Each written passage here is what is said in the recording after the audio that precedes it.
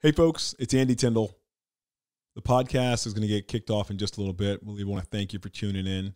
For today's episode, we get to hear from Erinn Smart, who's a former Olympic fencer. She talks to us about the sport of fencing, the different weapons, and how it's played, and that sort of thing. But she also talks to us about what it really took for her to succeed to compete on the highest level and win a silver medal in that sport. But she also talks about what I call her secret weapon, which is resiliency to make it through all of the highs and lows of her particular journey. I hope you enjoy this episode.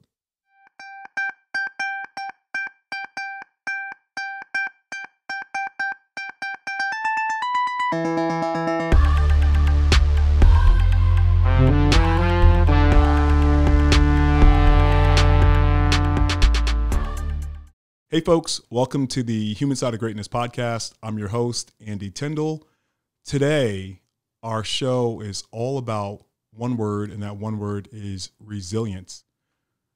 You'll hear the story of resilience through the sport of fencing. Yep, I said fencing. In fact, many people don't know, but the sport of fencing has been part of the U.S. Summer Olympics or the Summer Olympics period since 1896. In fact, it was one of the first five sports played. Our guest today is a former member of the U.S. national fencing team.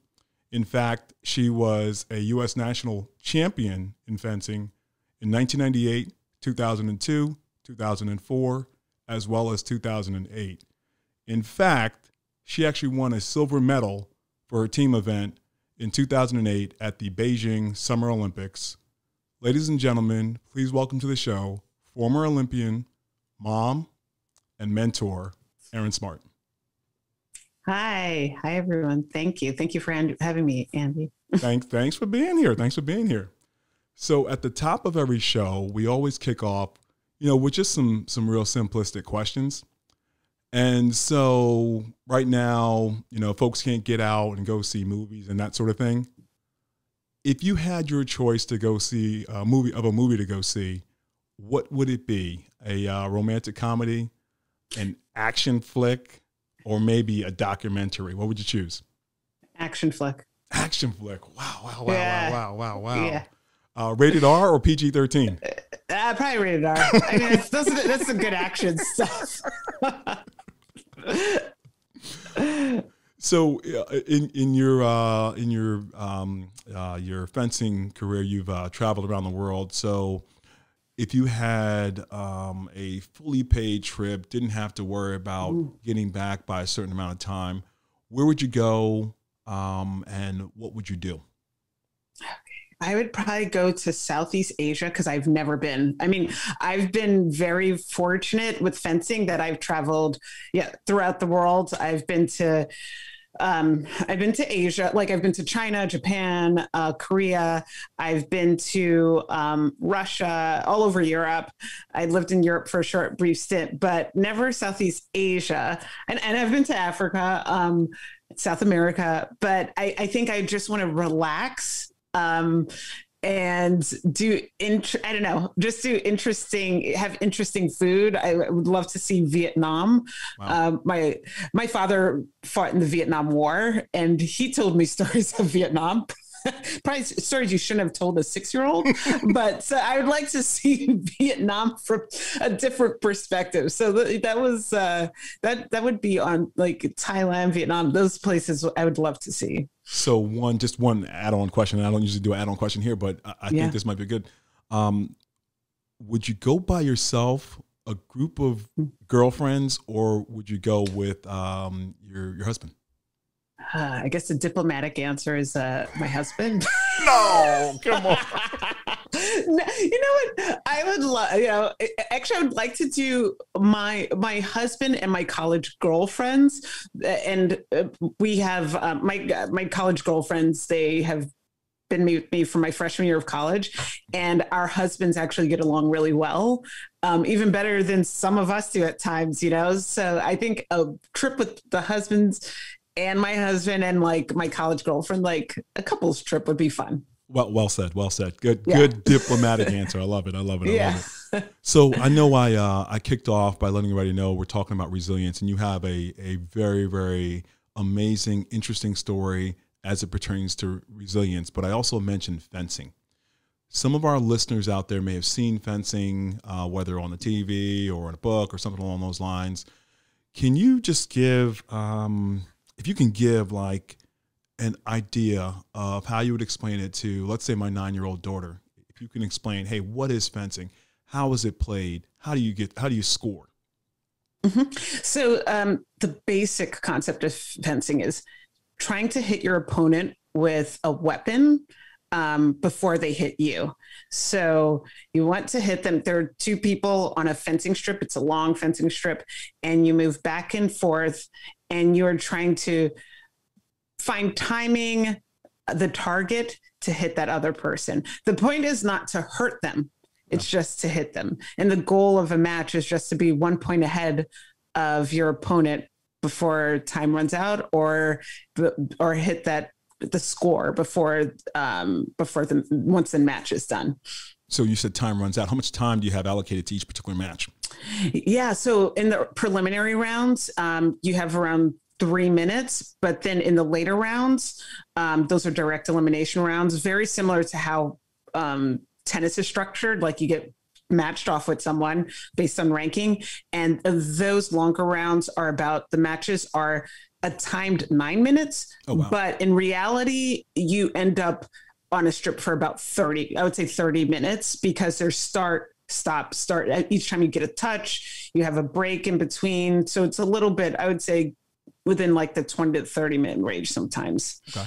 And, and uh, you mentioned the strip, so that's like the oh, I, I, would equate it to like the runway at a fashion show or something like yeah. that. yeah, exactly. That's the perfect way to say it. Yeah. And, and, so, what what's the the average length of a strip, or the the um I guess what would be the uh, the legal length of a strip? Yeah. oh my gosh, you, are putting me on the spot of like the numbers, uh, and I should know this stuff. I want to say it's like maybe 30 feet or so. It's like, I want to say it's, it's a fair amount of, of, of length. Now I got to look that up again. 30, but I would, 30 feet's a lot of, lot of yeah, runway no, right it's there. A, so it's, a, it's a, lot of room. You're going back and forth. You're moving a long distance along the strip and you have your on guard lines, your center line, and then you have your warning areas, like, cause you can push your opponent off the end of the strip so that they can um, that where you can get a point if you push your opponent off the end of the strip. So that's that's part of the strategy. Okay, cool. Yes, cool, cool, that's cool. also part of the strategy. Yeah. So now tell us about the weapons that you would use. Yeah. So there are three weapons in, in fencing. There's foil, epee, and saber.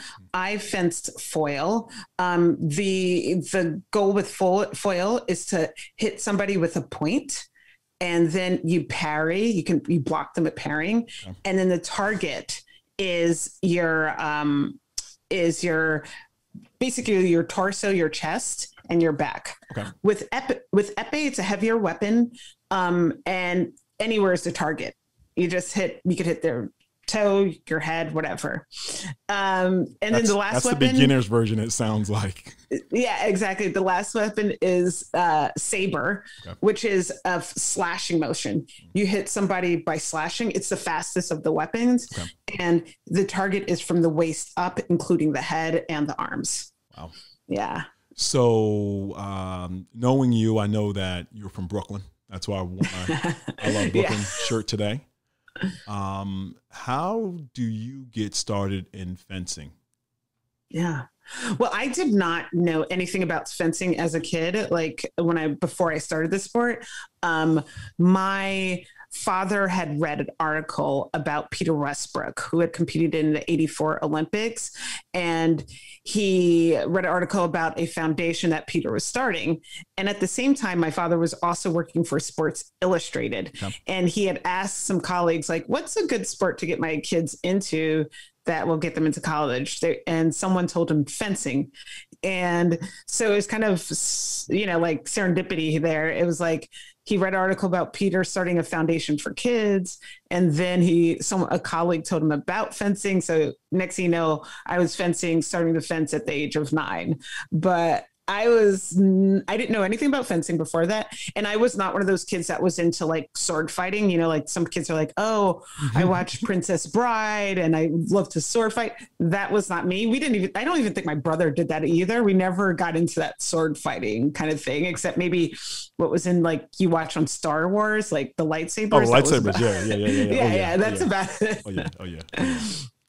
So, yeah. so your dad uh, essentially knew nothing of the sport of fencing. He just knew education was important, and you guys, you and your brother, when I say you guys, mm-hmm. uh, you needed to uh, need to get an education and get it paid for. Yeah. You know?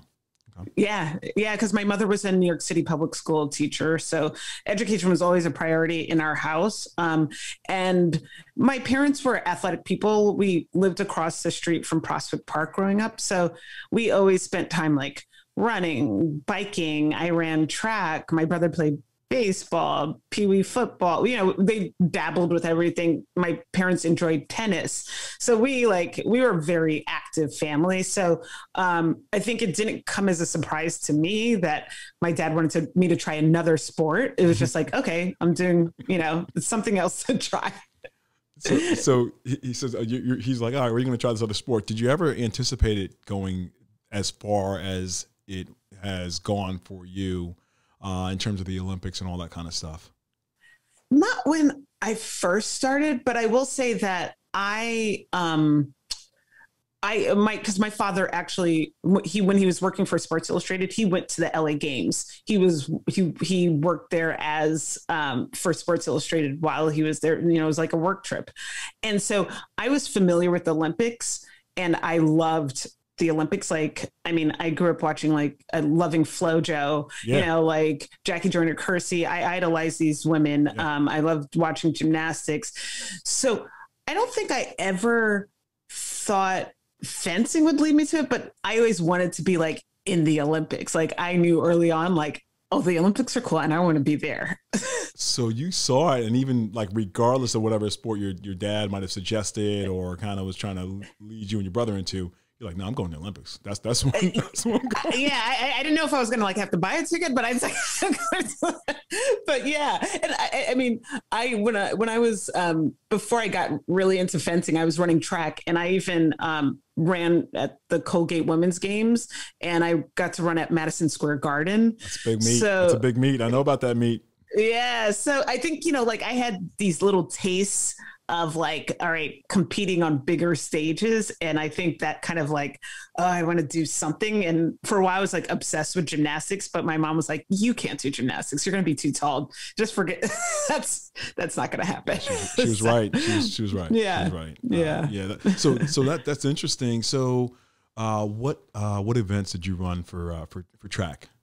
Yeah, I, I did. I it's funny because I'm not a long distance running. I did like uh, the 100 meters and I did 55 meter meter hurdles. I love the hurdles.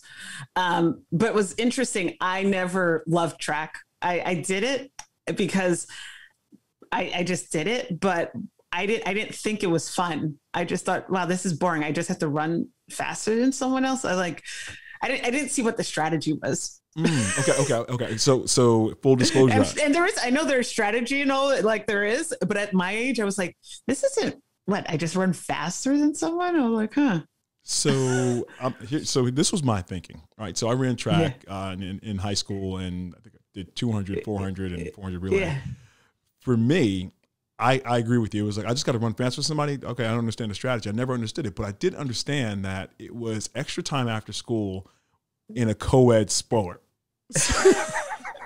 so, so from that standpoint, it was uh, it was pretty liberating. Um, but I, I, totally get it. Like at, at, some point, you're like, okay, what are we doing here? Like, how do we actually score? And so, getting back to fencing, it seems like that was much more of a clear picture for you.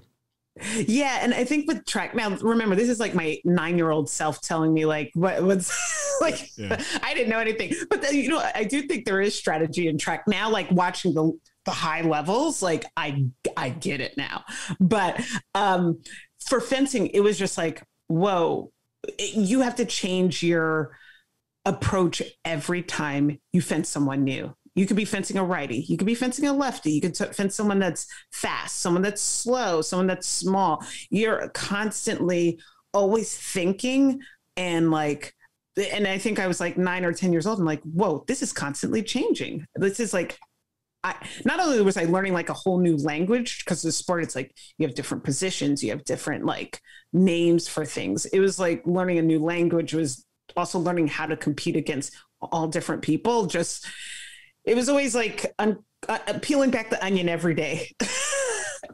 so would you say that in a, uh, whether intentional or unintentional way, it was almost preparing you for uh, life experiences as we know it today.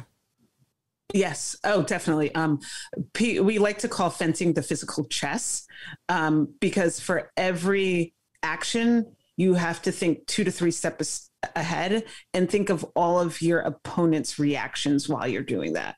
So um, you're constantly thinking, just going. And uh, I do that like constantly in my head, like when I'm at work or just any, I apply it to all points of like, okay, if I do this, you know, XYZ can happen. If I do that, maybe ABC. And then if I do the A, then maybe they do Z. And it's like always this constant, all right, the, the wheels are turning. lots of, lots of strategy. Lots of strategy. Lots of strategy. Yeah. yeah wow. Yeah. Wow. Wow.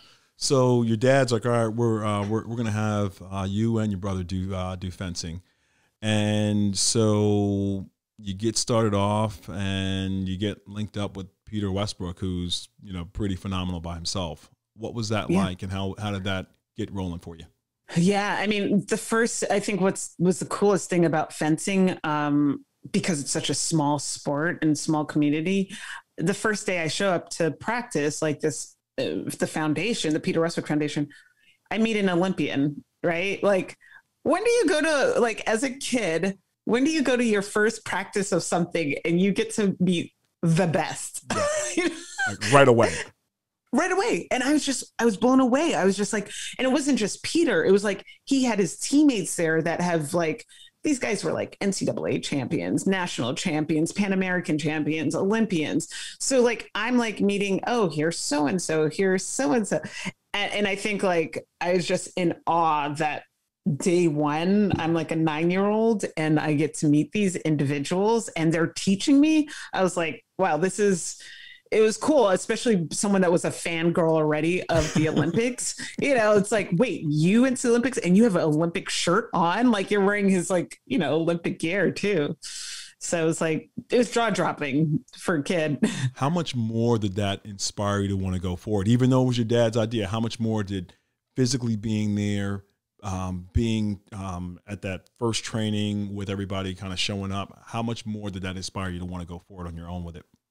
Oh, just a ton. I mean, I think that that's part of the reason why I just love the sport and and wanted to keep pursuing it is just like I got to meet all of these individuals and work with them on a daily basis and they would spend the time to talk to me. And also there the what makes our foundation the peter westbrook foundation so unique is that and everyone says this it's we're a family there it's like it's not just sports it's a family organization that really prioritizes lifting each other up and taking the time and being authentic. And i don't think you always um, get that in in you know and sometimes your kids sign up for something you're like oh that's cool you try it out. And it's, it's it feels a bit transactional sometimes but um, i think it, the difference is like it, it really is a family that cares that has worked together for so long that have been on olympic teams and national teams go to college together. So it's really a, a unique environment um,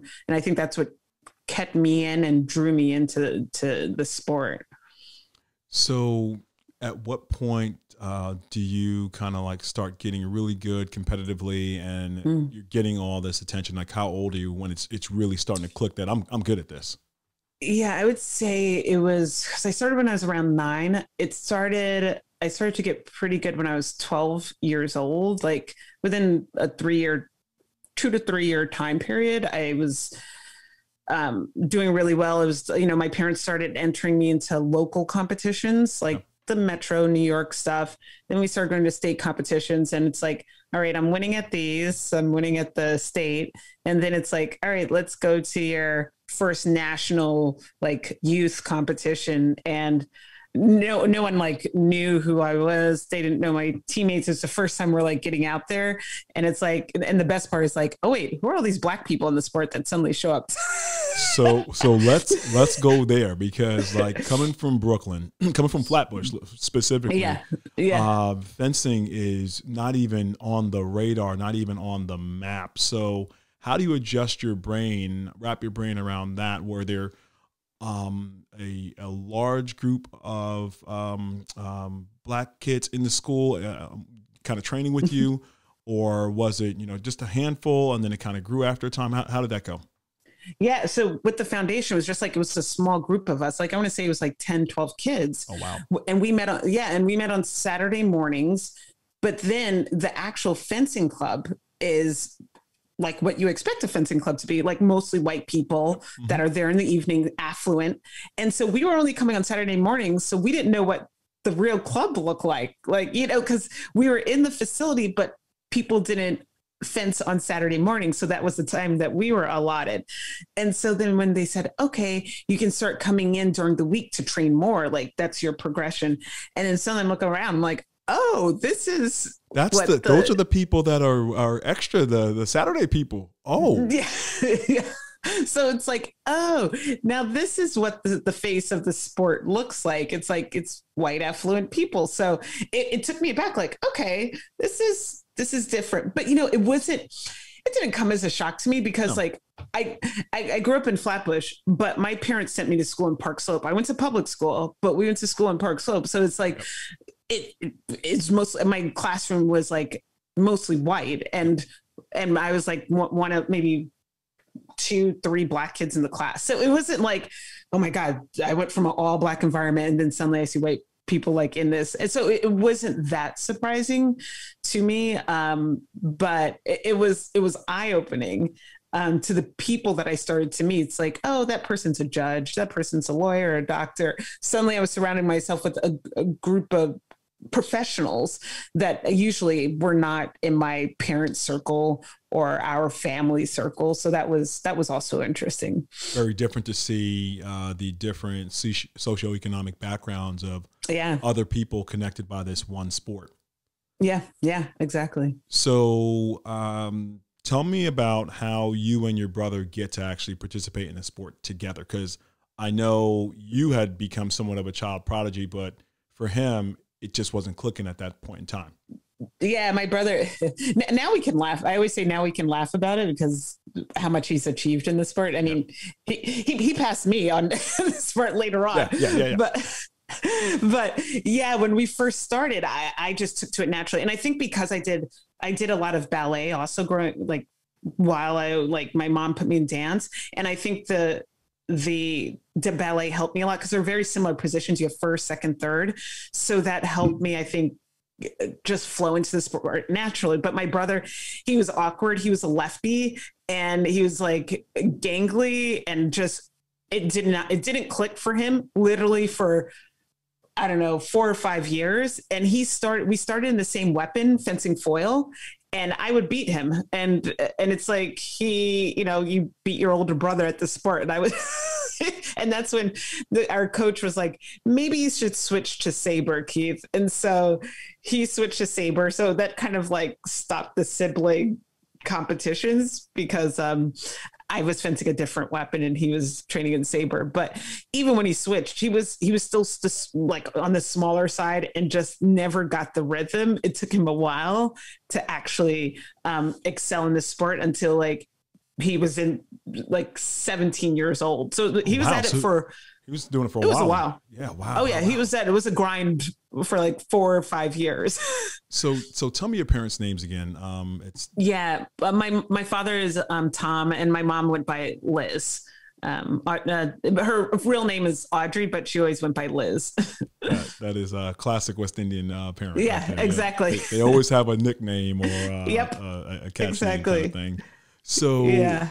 I I want you to share with the the listeners um, kind of the, how your father and your mother got your brother to go to the school with you because you're the one who basically got the uh, the um, uh, yeah I got the, the go ahead. yeah yeah. So I was because our coaches pushed um, were pushing for me to go more. The the the top coach at our fencing club. He was at the time he's the um, head of Columbia fencing, and he he was like, I want to work with her. And he actually thought he had never saw my, the funny story.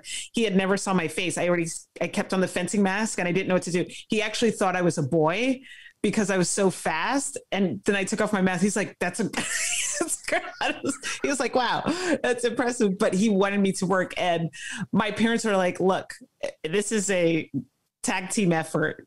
Essentially, if Erinn goes, Keeth has to go because my mom was like, we can't a be driving one kid to the city bring and have another kid at home somebody watching at home we just don't have the resources to do that so no. if you want if you want that one you have to the other one has to come along so my brother was sort of like all right he, he got in because because i was i was there too well you know it's it's um it, i guess you can call it a package deal and, and it worked yeah. out great for both of you yeah, exactly. No, it, was, it worked out, and, and, and it really, I mean, it made the smart the sport more enjoyable when you have a sibling involved in it because it's something you. I mean, that's what kind of connects us. I mean, more than that, but it is our adjoining force that we have together of um, being able to just just talk about it. Yeah. Yeah.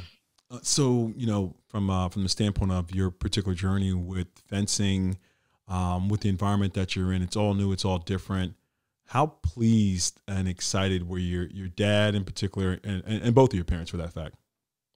My my my dad was kind of like one of those stoic individuals that never showed a lot of emotion. He'd be like well good job all right.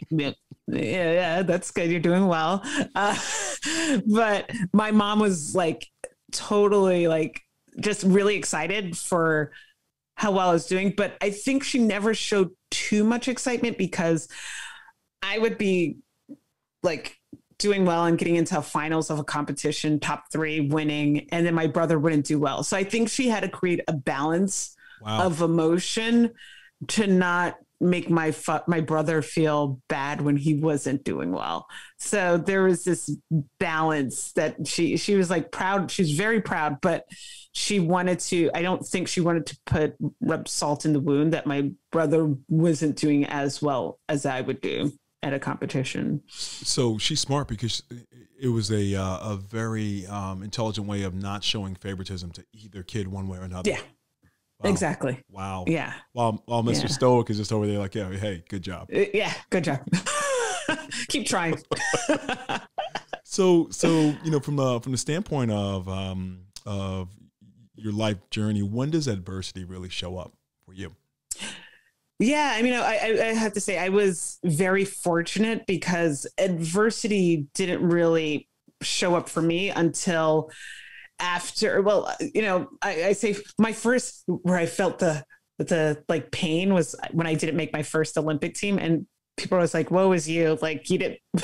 make your, but you made a few more after that. But it was like, in, I didn't make the Sydney team. I was the fourth, okay. and they and I traveled to Sydney, and my brother actually made that team, and so it was. I was disappointed that I never got put in into the team event and I didn't compete. So that was that was hard for me. Um, but what made it that part hard was that my mom had was battling cancer she had been diagnosed with colon cancer um, right before the athens or excuse me before sydney and um, she had decided to she was so tough she basically doubled down on her chemotherapy so she could travel to sydney with us so she she essentially said i'm going to sydney with my kids i'm going to watch them compete i put all this time and love into them um, uh, that uh, that she like expedited her chemo treatments to watch us. So I think that was hard for me that I couldn't compete and while she was there. She was um, there, yeah.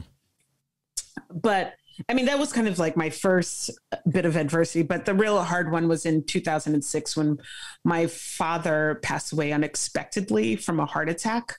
Um, and it was after yeah, it was two years after the Athens Olympic. So he had seen my brother and I um, make both the, you know, seeing Keeth make the 2000 team, seeing us both make the 2004 team, and um, he unexpectedly had a heart attack walking through Prospect Park.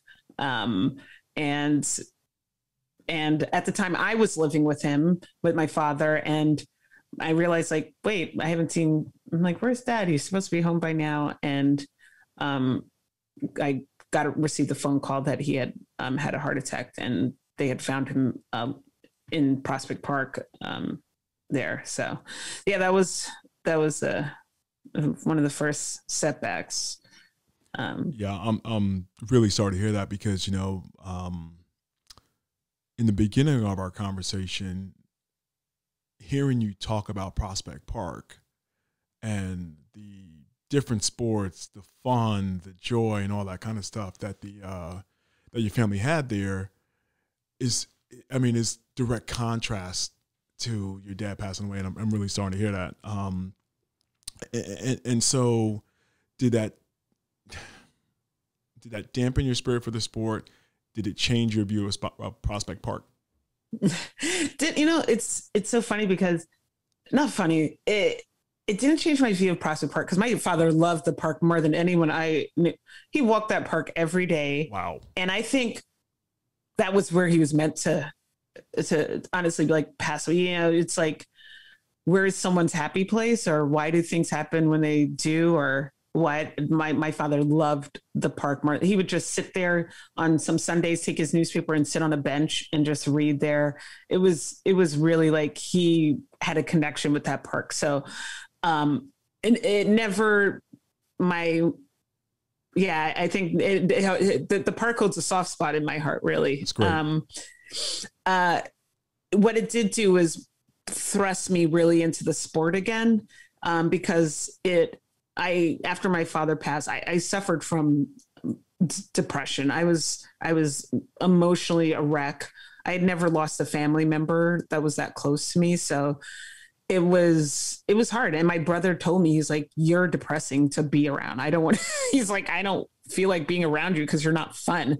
Uh, no one had ever told me that in my life, and I was just like, "Man, I I mean, I I put myself in therapy at that point. I was just going to ask realized, you, what did you do? I was just going to ask you. That. Yeah, I, I, I mean, I, I, I, knew that it wasn't something I could figure out on my own, so I, I, I sought out professional help and spoke to someone um, on a regular basis, and I realized I needed to distract myself with something I love, and I threw myself into the sport wholeheartedly, um, and just like that's what I did to just, just distract myself on a daily basis. It was like, all right, I need to focus. I need goals.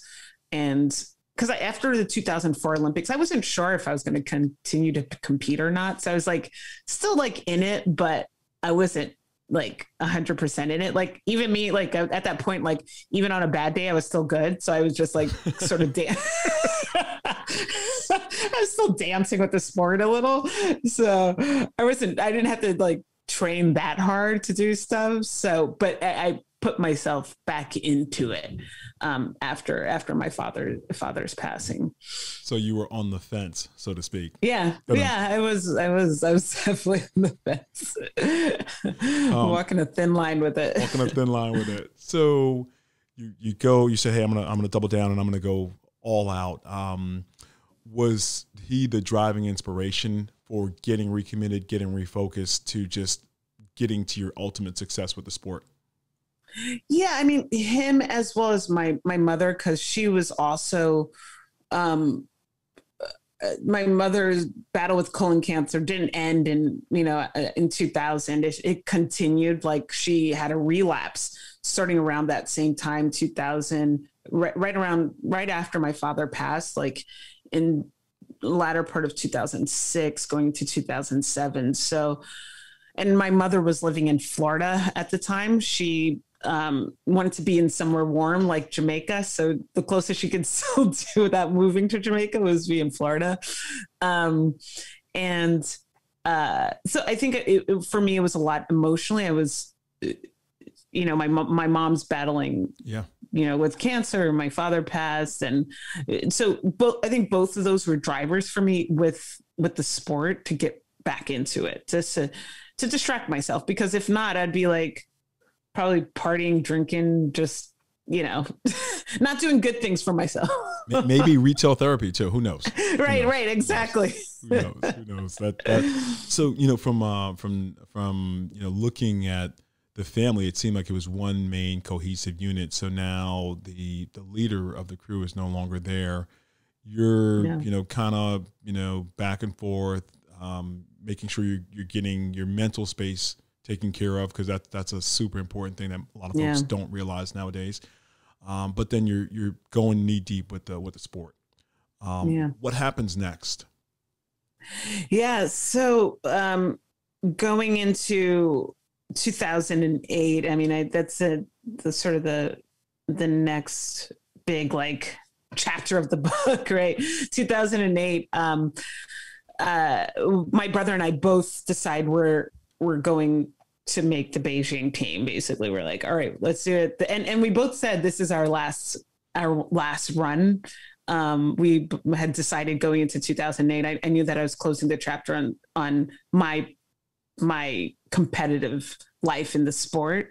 Um, and my mother was again like still battling colon cancer, but her her body was was it, it wasn't like the last time it was just deteriorating she was deteriorating quickly um but it, my brother had was at a world cup in um i want to say it was gosh where was he tunisia he had come back on a plane ride and I saw him. I said, You look weird. And I he goes, What are you talking about? He's like, I was like, something's odd about you. Like he had these spots all over his head, mm. these blood blisters.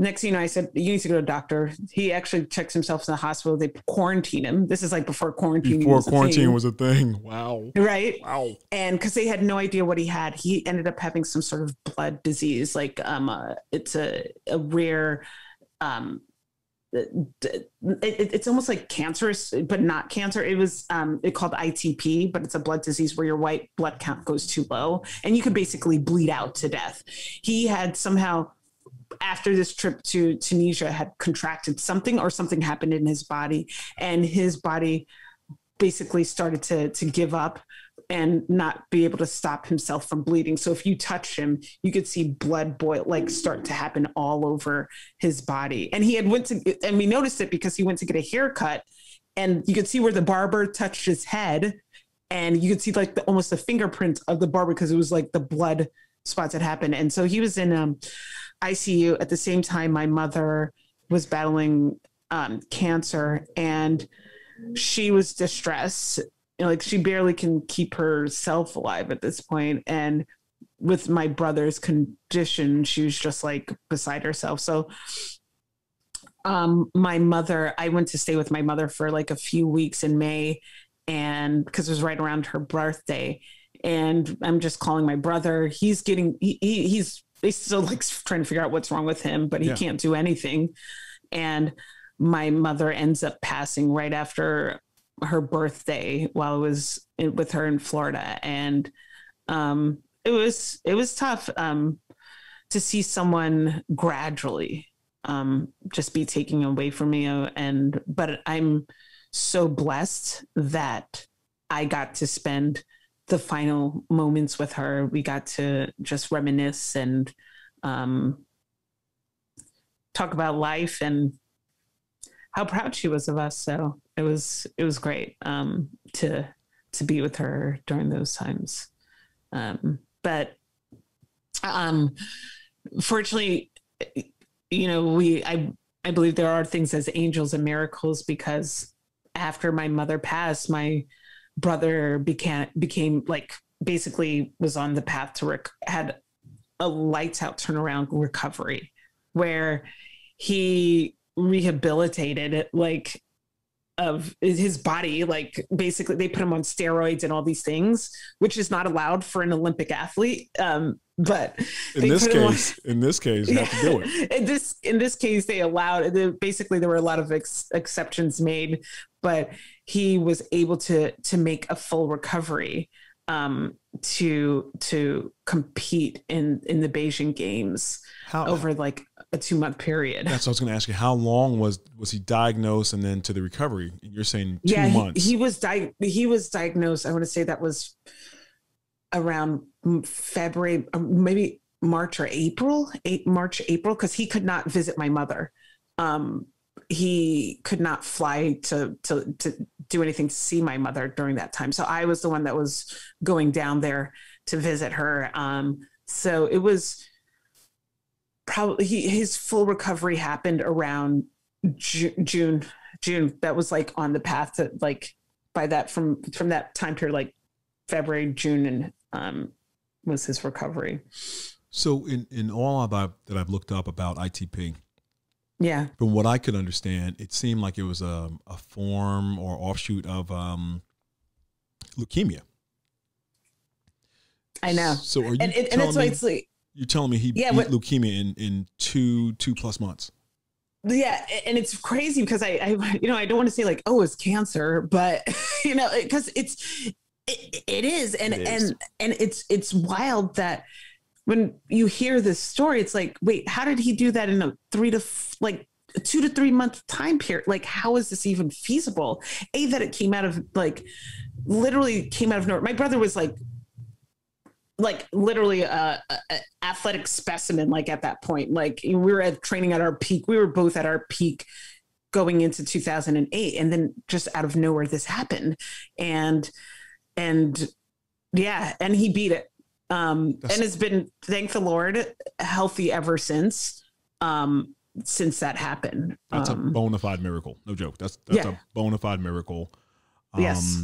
Really sorry to hear about your mom passing as well because thank you yeah. uh, she, you know, like any mother, like a real mother is the the glue of the family, and Yeah. so she's not there anymore. How do you and him function? Because, I mean, you're the last two of the core four. Yeah. Yeah. It was, you know, it was, it was again a tough period. I went to like after my mom's mother's death, I still had to compete. Like I was going to World Cups. I remember I was at a World Cup and I just broke down. Like there was one competition, I just broke down crying in the middle of the, f- it wasn't even because I lost. I just had this uh, emotional, I would just have these emotional waterfall moments of just feeling so overwhelmed just with everything that it was hard. And i was very fortunate that i had my brother to that i could call or some competitions he was there with me but someone that i understood what i was going through on a competitive level but on a emotional personal level as well. So we did a you know it was a lot of talking um and um also a lot of praying. Um i i really looked to to the the religious side of the my mother was a very religious woman woman She- um, we were raised catholic and um it- you know I, I i traveled with my bible and read it on many times when i needed to find strength um and pray um to to just get me some of the, through some of the the tough times So, did you get that from just from your mom specifically? Is that what that was that where she found her strength and she made sure that you and your brother could develop or tap into that same um, yes source power? yeah. Yeah my father was my father is uh never really went to church. He was the guy that my mom said all right take them to church this, this sunday because she couldn't make it and he literally gave the guy a 20 said come back with my change that was my dad Wait, wait. He said, "Come back with my change," meaning you get five dollars a piece for each kid that you make get go through the door, kind of thing. wait, wait, wait, wait. Can you come back with my change? And I was like, Dad, that's not how it works here. Uh, and and so but my mother, however, was very, um, very like she even had her um spiritual cards all around the house, like God is with you. Your her mantras, God is with you. You have the strength. You're given blessing. You know everything throughout the house. So it, it that, yes, that came from my mother. Um, the the spiritual side side of things. Um, yeah. So, so now your mom passes away, and um, now you're left to figure out. Okay, I'm still competing. I really want to, you know, um, still be successful in the sport. Not just me, but my brother as well. How do you make it? Obviously, prayer. Obviously, you're falling back on your training and all that kind of stuff. How do you fully burst through? Yeah, I mean, it's one of the one of my my first coach. He was um, very much into mental preparation, mm. Which is eh, eh, a lot of visualization. Imagine yourself doing something, even if you're not doing it. Yeah. Even if you can't, even if you're not, say if I had like a broken foot, even if you can't compete today, think of yourself winning. Think of those actions you want to make. I did a lot of mental visualization about what I can achieve and what I want to achieve. What were those goals? And I, that really helped guide and put me into a mindset, a good mind space of where where where do I need to be? Where do I want to be? How do I get there? Um, so I think that was like one of the one of the other key things that helped me get to the to to that to to, to, not give up. How you know yeah, to, to not, not, to not just yeah not to give up, just to not throw in the towel. And I have a lot of teammates along the way that have given up, and I'm just like, it, they're just like it's too hard i'm scared i don't want to do it i you know a lot of excuses and i just kept telling myself just these positive mantras and visualizations to really um, help me get to beijing but also like how to excel to do do what I do, you know. yeah, just just to get your mind right, to. so you can you can be the best version of you. Simply put. Yeah. Yeah. Yeah.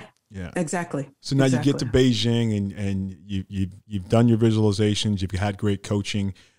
Do you tap into something special that normal people don't have? Because athletes have this different gear, this different mental gear to really bust through adversity. Uh, you, you, see yeah. it in, in many occasions when maybe a relative passes away or they have a severe injury and they bounce back from their injury and wow, they're they're a champion again.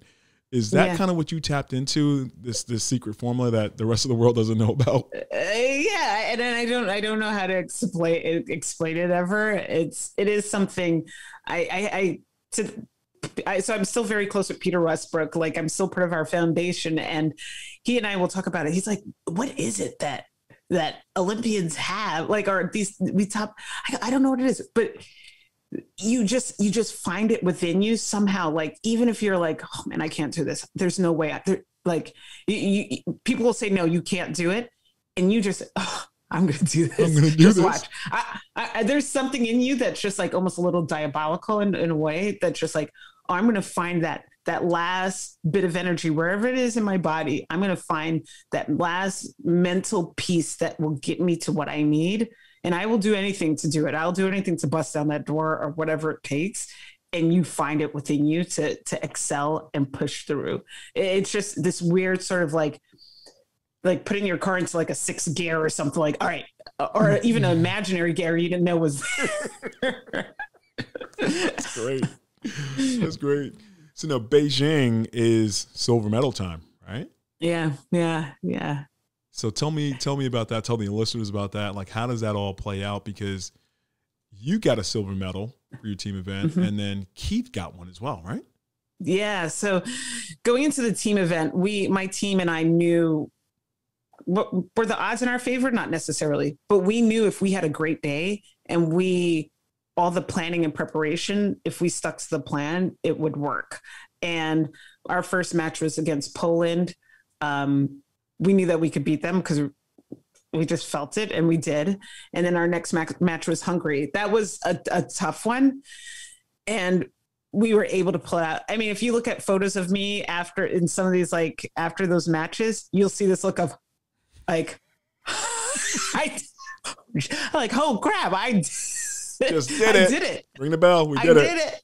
I did it. I was like, oh my gosh, I did it. But it was like, it, we weren't like the Michael Phelps of the of, of the fencing world. Like we were we were just like, all right, if we have that good day, stars align and we do what we what we planned it and execute well, we can achieve something big. And and the whole time I was competing, like my brother was right there in the stands, Keeth was there in the stands watching me, which is you're not allowed typically you're not allowed to do because he competes the next day after me.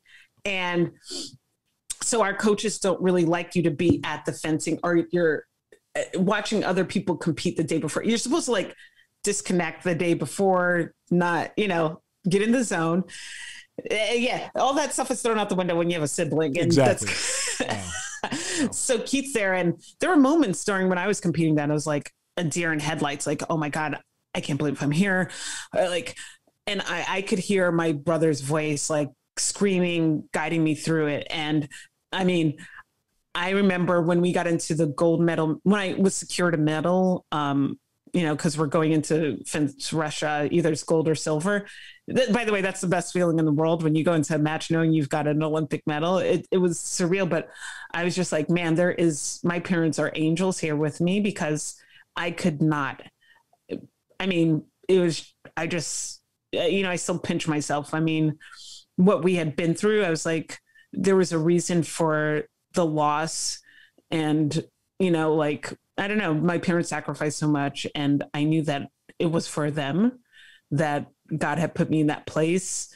And I was uh, carrying along their spirit and their energy at that moment. Um, and it was the best, one of the best feelings I've ever had in my life being on, you know, the podium stand. But, but I'll be honest, um, one of the hardest things was after winning um, the silver, I, I knew that Keeth was competing the next day. And I was like, I just kept thinking, it's going to suck if I have to go home with the medal and my brother doesn't get one. We both got to get it. We both got to get it. I, and and I was just like, this this is gonna suck. And that next day, I've never felt so much um just angst, nervousness as I did.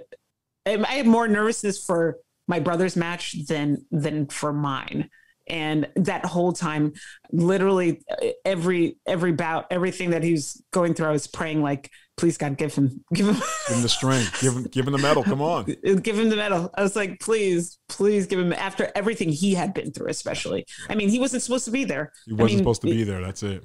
He wasn't even supposed to be competing. They said he wasn't going to. When the doctors first diagnosed him, they said, "There's no way you're competing. You're not going to compete in Beijing." And to see him up there competing, I was like, him more than me deserve, deserves a medal. Um, and and he, you know, and his and his matches were a miracle match. I mean, it literally came down to the wire of like some referee calls and everything. And when when I knew he was guaranteed medal, that was that was I mean, just a great feeling, and knew that our parents did a, did a, a, a lights out job Yeah. um, Oh, yeah. with the gifts that they have given us. Yeah, amazing. You're like, hey, pilot, turn on the engine on the plane. We're ready to go home. Yeah, exactly. It's a wrap.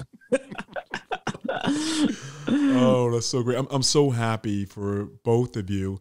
And I know your brother has you. the, uh, the the PBS uh, short film uh, "Stay Close," Yeah. which was amazing, amazing, amazing. Anybody who's listening out there, go check it out on PBS. Uh, just a, a fantastic uh, short film uh, put together. Um, so I know we're coming down to the the end of our time here, and uh, I, I just wanted to kind of get a sense of um, the one question I like to ask on the show is what does the human side of greatness look like to you? Because you have this spirit of resilience, you have this way of overcoming. I just want to get your perspective on that question. Yeah, you know, the human side of greatness. It, it, first thing, I think it's such a great. There's so many ways you take that. True. You know, it's it- you know, it's to me, it's it's uh, Peter always says this to me. To to much to those who much is given, much is expected. You know, it's it. I think it's in Luke in the Bible, and um, to me, when you are given gifts and and what, no matter what that gift is, it doesn't like it doesn't have to be an Olympian. You, it, there's so many ways that people are so fortunate. To me, the greatness is when you can give that back to others. I've been, I've been given so much. uh, No one becomes Olympian by themselves. There is a village of people along the way that help you, friends, family, strangers that help you in the littlest things. And if you can give that back to others when you are able to, I think that to me is like um, the human side of greatness. It's just like when you can, when you're just given things and you're unwillingly, like you just do it selflessly, um, can give back to others and give and pay it forward. Um, I, I, I think that is I have been a recipient of it, and I, I and I hope that I can do that for others. Um, I was a recipient of of um, Peter's greatness. I mean, if without him, I would have never been in the sport. I would have, you know, like he started a, foundation that opened many, that changed my life. That that that really opened so many doors for me, and um, I'm so appreciative of it. Um, words can't even explain, and I hope that I'm I do that for younger kids coming up and um, can pass that gift forward. So you're um, you're talking about your your work as a mentor. So yes, yeah. Touch on that too, real real quick.